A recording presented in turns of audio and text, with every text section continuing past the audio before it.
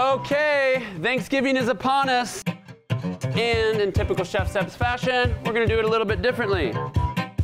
Instead of just roasting a whole bird, we're cooking turkey yakitori.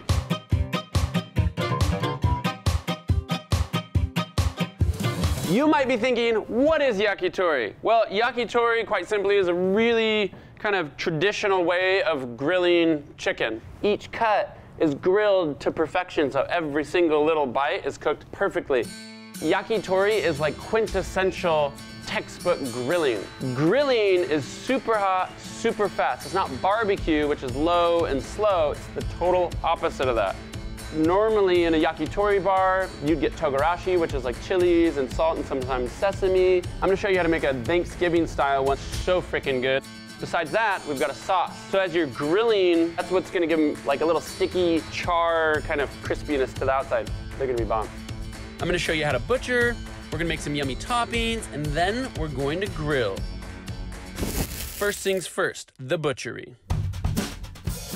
For me, one of the things that's so great about butchering turkey yakitori style is you use the whole bird and you really get to honor every part. So this turkey is not just, you know, light and dark. I've got drum, I've got oyster, I've got thigh, I've got wing, I've got drumette, I've got skin, tender, breast, and my personal favorite, meatball.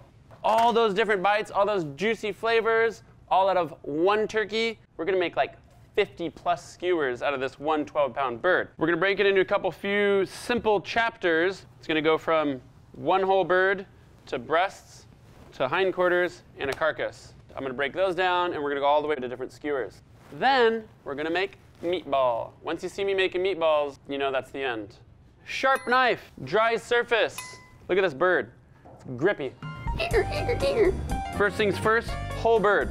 So I'm not cutting meat yet, just slicing a little bit of skin. A little flipperoo. Here's the first cut we're going for here now, is the oyster, or as the French say, "sot-l'y-laisse." Only a fool leaves behind. Good piece of meat. And that's one.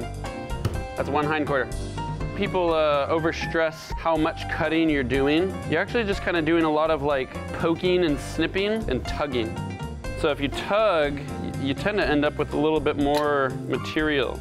See what I mean? Like I'm pulling and I'm getting all the skin right down to the bone. If I cut it, I'm gonna lose a bunch. Going down the keel bone here, and then you hit everyone's favorite, the wishbone. There's lots of ways you can fuss about it, but here's how I like to get rid of it. I like to put my knife right here in a little, that's it. Like even a Whole Foods, they'll break down your turkey for you. You could tell them you want two airline breasts, two hindquarters, and a carcass. So you can save yourself the time on this.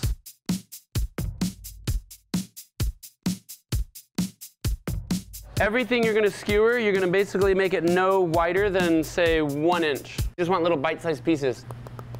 I like to trim so I don't have any dangly stuff on the skewers. And again, you're not wasting anything because it's gonna go in the meatball. Trust me, you're gonna have people who are like, give me the skin one. You want the skin, you bring the good wine. Usually it's some family member, they come over, they bring their like $6 bottle of wine and they drink all your good stuff. Who has the audacity to do that? Final chapter. Gotta reset, chill out a little bit. Look at all these skewers. Look, just because I want you to know at ChefSteps, we do our homework, you know? So when we link to like some skewer on Amazon, it's not because we're buddies with the skewer company. I don't know them. But it's because I tried their product and I like it. Kyle bought like every skewer we could find on Amazon. So stainless ones and then a bunch of wood ones.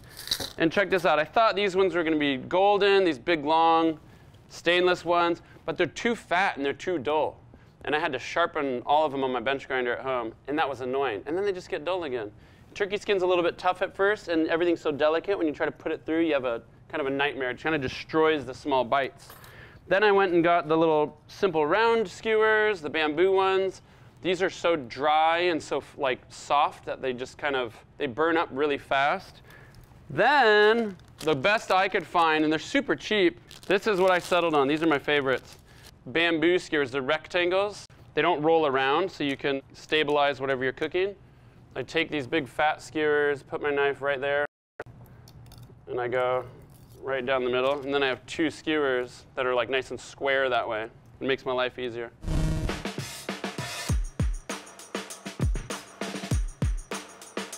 Have the meat on ice because the firmer it is, the easier it is to cut, and that's no different than it is for the processor. I put the skin trim in first because that's chewy, chewy, chewy, tough stuff. So that's gonna go in first, and I'm just gonna blitz it a few times to give it a head start.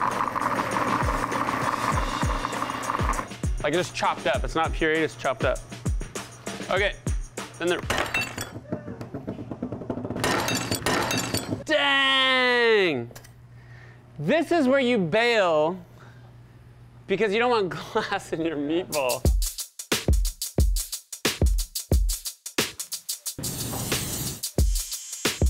Kyle's working on million dollar cream of mushroom. That's your preview. I don't know which thing we're gonna publish first. But that 99 cent can of Campbell's is just like, I think it could be improved, you know? So Kyle went out and bought 500 pounds of white truffles to see if he could make a better can of cream of mushroom. It's definitely more expensive. That's for sure. That's it. You've completed your turkey yakitori butchery journey. Now you just have like grade A premium bites. When you go to a yakitori joint, you get a couple little side sauces or spices. So this is our Thanksgiving togarashi. It's delicious. What'd you put in it? Fresh thyme, chili flakes, lemon, and salt. So Kyle's got this awesome trick where he's just gonna take fresh thyme. You can do this with any herb, and he's gonna dry it in the microwave. We'll microwave both of these together until it gets fully dry, and then mash it all together with our fingers. Okay, well I don't even know how to do this, so why don't you do it? I wanna see. Put the thyme on a plate, and then zest a whole lemon. I never thought to hold the lemon sideways. I always hold it lengthwise like and go. Th- I do, yeah, I do this. It doesn't matter. I like your style, but I just do this, and then I rotate. I've never seen that. I never seen the way you do it. You're the weirdo. We'll see. Somebody will comment. We're just gonna put this right in the microwave. We're just drying it out though. Microwave's super great for this. If you were just to put the fresh zest in and the fresh thyme in, and then say put it in a jar, it could even go rotten on you. It could go like a little, thyme would go black. The oils Yeah, to funk it the oils get funky. We're gonna really squish everything together with the, the salt. One of my favorite things about the whole idea of the yakitori turkey is we're using the whole bird, every single bit. You can do old school pot on the stove, but I like pressure cookers. The reason why I think that they're the best is you can get like the least amount of water to the most amount of bone, and it cooks the fastest. I'm gonna add some peppercorns, I'm gonna add some sage, and then water. You just want enough water to cover it. We're gonna cook that down into a stock, reduce it into a little glaze. Then we're gonna even add a little bit more goodies. We're gonna add soy, we're gonna add orange, and we're gonna add cranberries.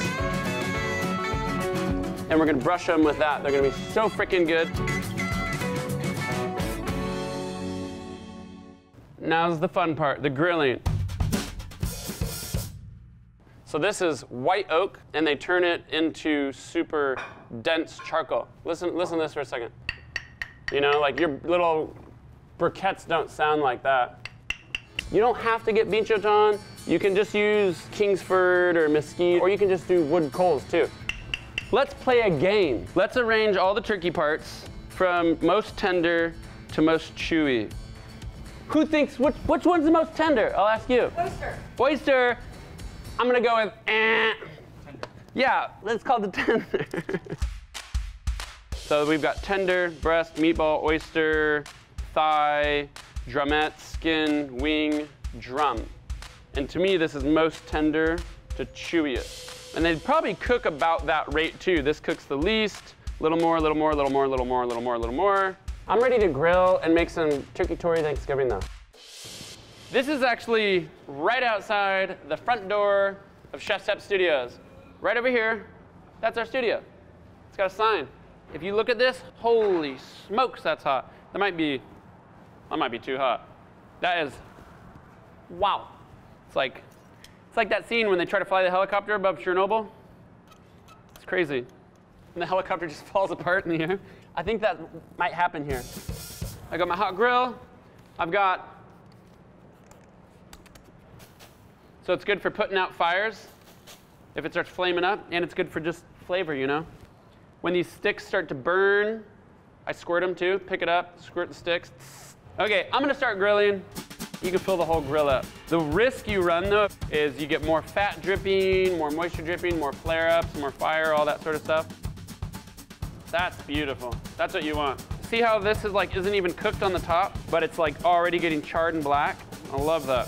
You got your breast here. Then you do a little bit of glaze, not first, but second, because if you glaze too early, that sugar's just gonna burn. So the name of the game is kind of caramelize the meat a little bit, finish with the glaze. To me, this tender's like, it's done. I want to bring in some friends. We've got from Olympia Provisions and from Eater. Yeah, what do you guys want to try here? Meatball. Meatball? I have a feeling I'm gonna like the skin. Yeah.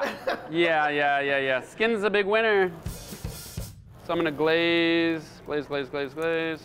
I'm gonna put that side down for now. Try a little bit of everything, you know? Ooh, that's looking pretty. Can you flip these meatballs for me? See, you have guests, you make them cook.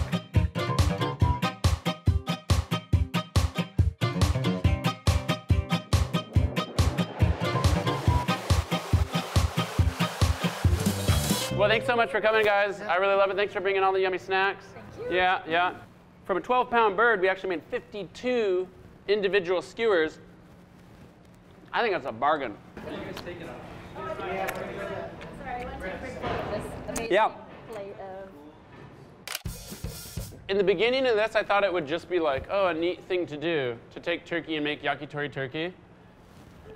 I'm never going back. There's so many yummy flavors and textures and bites here. And once you do that little bit of prep work, it's easy. You got your turkey, yakitori, Thanksgiving. I can't cuss now that we're like Breville, so I can just delicious.